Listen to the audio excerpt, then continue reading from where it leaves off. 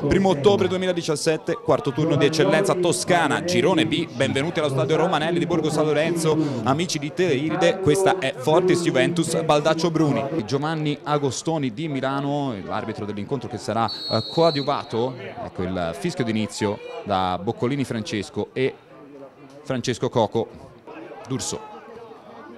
Pallone girato bene per Quadroni che prende d'infilata la difesa della Fortis alla fine il ripiegamento difensivo di Di Giusto a salvare la squadra quest'oggi in eh, maglia arancio-blu.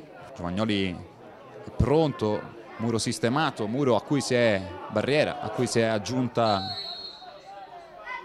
anche una maglia della Fortis, quella di Innocenti, parte il mancino di La Rosa del girone B di eccellenza. Questa giornata questa è una delle partite sicuramente più interessanti. Qua stacco da parte di Lenzini, murato da Giovagnoli.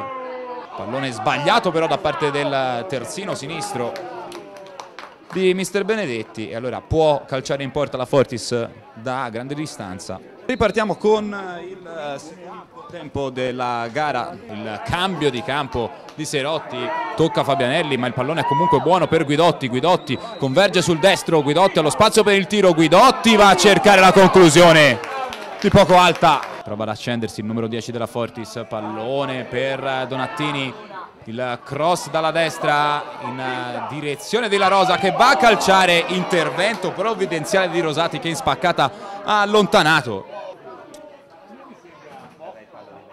Battuto al centro dell'area il corner. Può andare D'Urso in contropiede. Incredibile il contropiede subito dalla Fortis con Quadroni che affida il Ricci. Ricci riesce in qualche modo a salvarsi la Fortis anche grazie a un Mazzolli che ha fatto il quattrocentista è andato a riprendersi Ricci dall'altra parte del campo. Termina anche la seconda frazione di questo Fortis Juventus Baldaccio Bruni. Il risultato finale è di 0 a 0